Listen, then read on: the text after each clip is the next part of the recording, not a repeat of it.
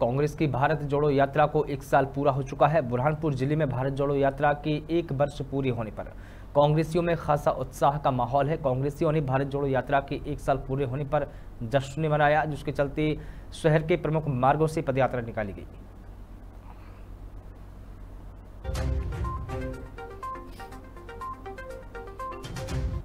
हमारे जो नेता राहुल गांधी जी है, उन्होंने आज ही के दिन सात तारीख को कन्याकुमारी से भारत जोड़ो यात्रा का आज शुभारंभ किया था। उससे सफलता में एक वर्ष पूर्ण होने की खुशी में पूरे ज़िले में कांग्रेसियों में हर्ष का व्यापक लहर है। उसी के संदर्भ में हमने पद यात्रा निकाल कर यहाँ से निकाल के गांधी चौक, कमल सिराहा होते हुए हमारी यात्रा अंबेडकर जी की प्रतिमा